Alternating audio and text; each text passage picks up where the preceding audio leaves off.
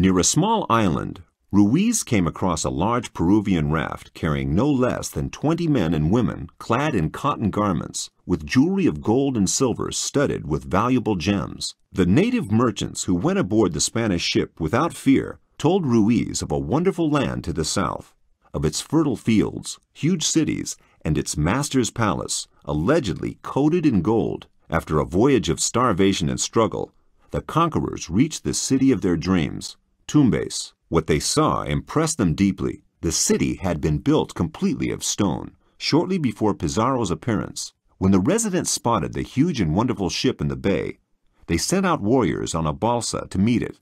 Pizarro's interpreters convinced them that the white men had come as friends. A native leader and a group of nobles appeared before Pizarro, bringing a multitude of gifts. Pizarro poured them wine and presented them with a metal axe. The natives' respect towards the newcomers they regarded as demigods grew, but the Spaniards naturally were far more interested in gold than in reverence.